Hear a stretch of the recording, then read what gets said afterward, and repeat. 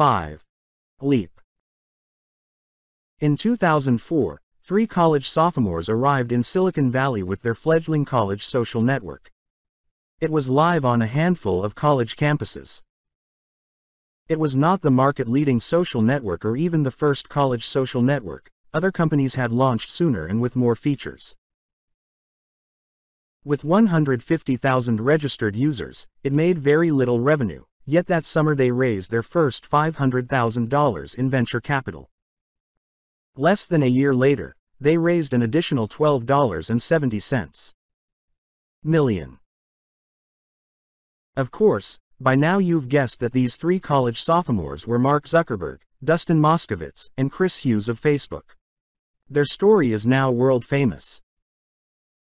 Many things about it are remarkable, but I'd like to focus on only one, how Facebook was able to raise so much money when its actual usage was so small. 1. By all accounts, what impressed investors the most were two facts about Facebook's early growth. The first fact was the raw amount of time Facebook's active users spent on the site. More than half of the users came back to the site every single day. This is an example of how a company can validate its value hypothesis, that customers find the product valuable. The second impressive thing about Facebook's early traction was the rate at which it had taken over its first few college campuses. The rate of growth was staggering. Facebook launched on February 4, 2004, and by the end of that month almost three quarters of Harvard's undergraduates were using it, without a dollar of marketing or advertising having been spent. In other words, Facebook also had validated its growth hypothesis. These two hypotheses represent two of the most important leap of faith questions any new startup faces. Point 3. At the time, I heard many people criticize Facebook's early investors, claiming that Facebook had no business model, and only modest revenues relative to the valuation offered by its investors. They saw in Facebook a return to the excesses of the dot-com era, when companies with little revenue raised massive amounts of cash to pursue a strategy of attracting eyeballs and getting big fast. Many dot-com era startups plan to make money later by selling the eyeballs they had bought to other advertisers. In truth, those dot-com failures were little more than middlemen, effectively paying money to acquire customers' attention and then planning to resell it to others. Facebook was different, because it employed a different engine of growth. It paid nothing for customer acquisition, and its high engagement meant that it was accumulating massive amounts of customer attention every day. There was never any question that attention would be valuable to advertisers, the only question was how much they would pay.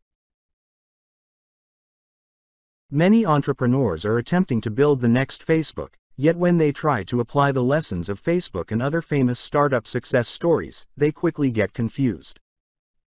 Is the lesson of Facebook that startups should not charge customers money in the early days?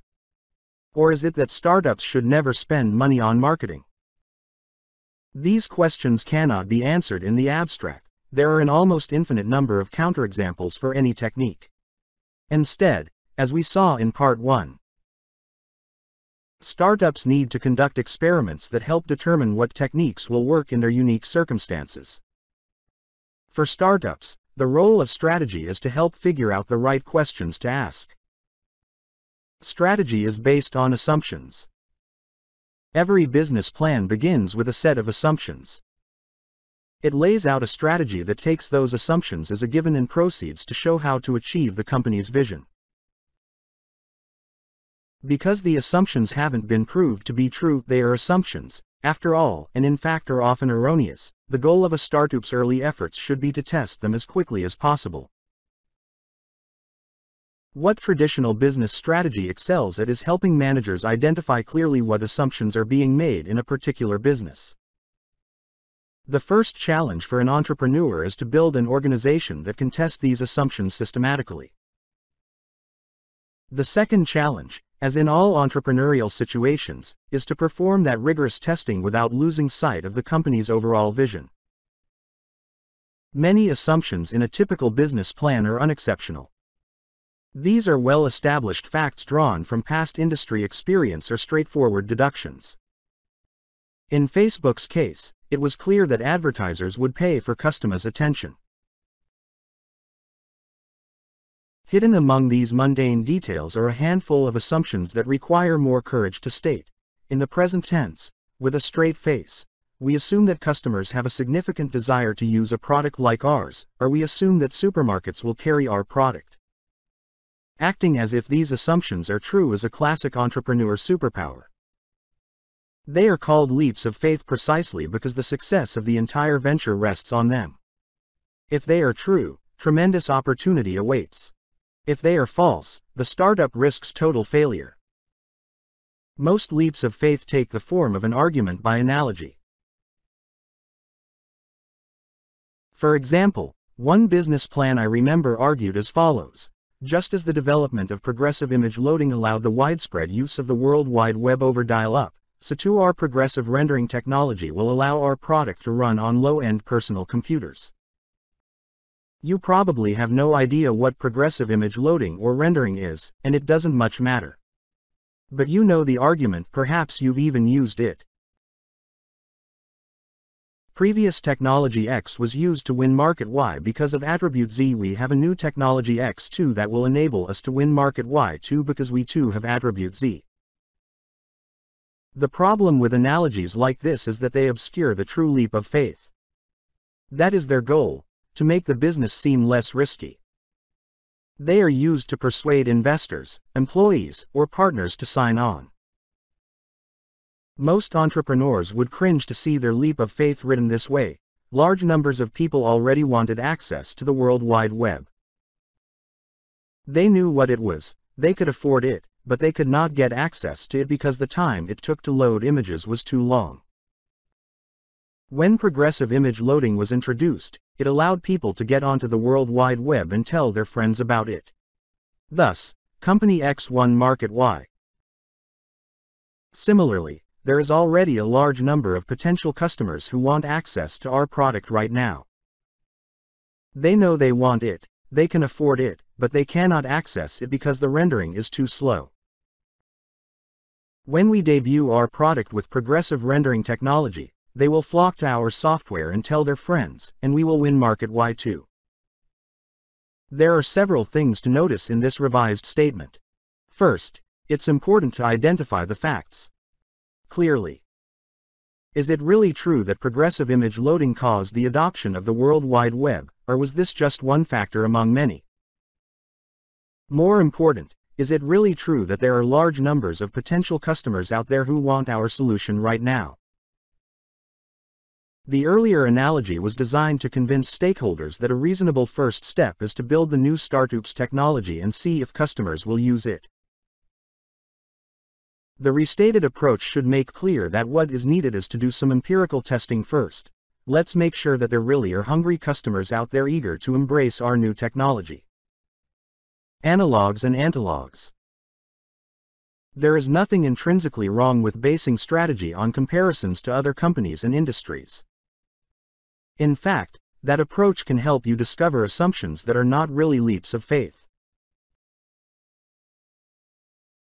For example, the venture capitalist Randy Komisar, whose book Getting to Plan B discussed the concept of leaps of faith in great detail, uses a framework of analogs and antilogs to plot strategy.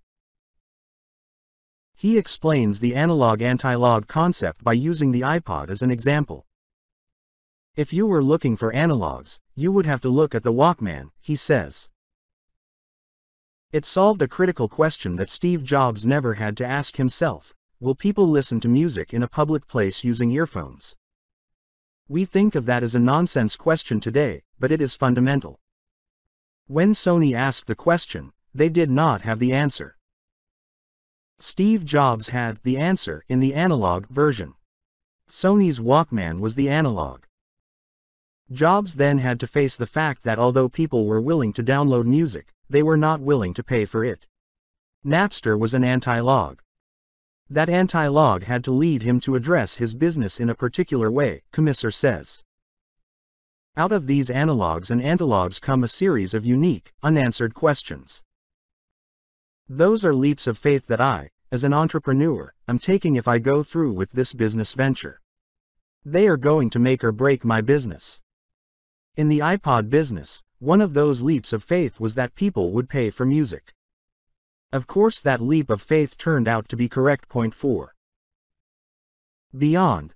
The right place at the right time. There are any number of famous entrepreneurs who made millions because they seemed to be in the right place at the right time. However, for every successful entrepreneur who was in the right place in the right time, there are many more who were there, too, in that right place at the right time but still managed to fail. Henry Ford was joined by nearly 500 other entrepreneurs in the early 20th century. Imagine being an automobile entrepreneur, trained in state-of-the-art engineering, on the ground floor of one of the biggest market opportunities in history. Yet the vast majority managed to make no money at all. 5. We saw the same phenomenon with Facebook, which faced early competition from other college-based social networks whose head start proved irrelevant. What differentiates the success stories from the failures is that the successful entrepreneurs had the foresight, the ability, and the tools to discover which parts of their plans were working brilliantly and which were misguided, and adapt their strategies accordingly. Value and growth. As we saw in the Facebook story, two leaps of faith stand above all others the value creation hypothesis and the growth hypothesis. The first step in understanding a new product or service is to figure out if it is fundamentally value creating or value destroying. I use the language of economics in referring to value rather than profit, because entrepreneurs include people who start not for profit social ventures, those in public sector startups, and internal change agents who do not judge their success by profit alone. Even more confusing, there are many organizations that are wildly profitable in the short term but ultimately value destroying, such as the organizers of Ponzi schemes, and fraudulent or misguided companies e.g., Enron and Lehman Brothers. A similar thing is true for growth. As with value, it's essential that entrepreneurs understand the reasons behind a startup's growth. There are many value destroying kinds of growth that should be avoided. An example would be a business that grows through continuous fundraising from investors and lots of paid advertising but does not develop a value creating product. Such businesses are engaged in what I call success theater, using the appearance of growth to make it seem that they are successful. One of the goals of innovation accounting, which is discussed in depth in Chapter 7, is to help differentiate these false startups from true innovators. Traditional accounting judges new ventures by the same standards it uses for established companies, but these indications are not reliable predictors of a startup's future prospects. Consider companies such as Amazon.com that racked up huge losses on their way to breakthrough success. Like its traditional counterpart, innovation accounting requires that a startup have and maintain a quantitative financial model that can be used to evaluate progress rigorously. However, in a startup's earliest days, there is not enough data to make an informed guess about what this model might look like. A startup's earliest strategic plans are likely to be hunch or intuition guided, and that is a good thing. To translate those instincts into data, entrepreneurs must, in Steve Blank's famous phrase, get out of the building and start learning. Genchi GEMBUTSU The importance of basing strategic decisions on first-hand understanding of customers is one of the core principles that underlies the Toyota production system. At Toyota, this goes by the Japanese term Genchi Gembutsu, which is one of the most important phrases in the lean manufacturing vocabulary. In English, it is usually translated as a directive to go and see for yourself, so that business decisions can be based on deep first-hand knowledge. Jeffrey Liker, who has extensively documented the Toyota Way, explains it this way. In my Toyota interviews, when I asked what distinguishes the Toyota Way from other management approaches, the most common first response was Genchi Genbutsu, whether I was in manufacturing, product development, sales, distribution, or public affairs. You cannot be sure you really understand any part of any business problem unless you go and see for yourself firsthand. It is unacceptable to take anything for granted or to rely on the reports of others. 6. To demonstrate, take a look at the development of Toyota's Sienna minivan for the 2004 model year. At Toyota, the manager responsible for the design and development of a new model is called the chief engineer, a cross-functional leader who oversees the entire process from concept to production. The 2004 Sienna was assigned to Yuji Yokoya, who had very little experience in North America, which was the Sienna's primary market. To figure out how to improve the minivan, he proposed an audacious entrepreneurial undertaking. A road trip spanning all 50 U.S. states, all 13 provinces and territories of Canada, and all parts of Mexico. In all, he logged more than 53,000 miles of driving.